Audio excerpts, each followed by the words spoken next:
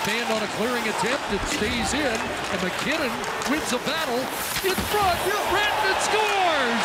Mikko Rantanen from MacKinnon. The point streak's alive. And the Avalanche have a two-goal lead.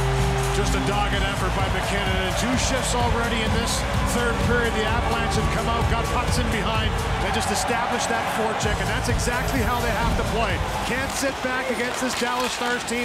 Go to work, try and get the next one. That's exactly what they do. MacKinnon with a nice hit to separate on Klingberg, and he finds a way to sauce this puck over top. The sprawling Lindell. It lands flat, or almost, but what a great job by Rantanen to shoot that one off the hop. And for MacKinnon, he wins the battle. Two hard strides to get right into the middle of the ice. Lindell goes down, and Rantanen finishes it.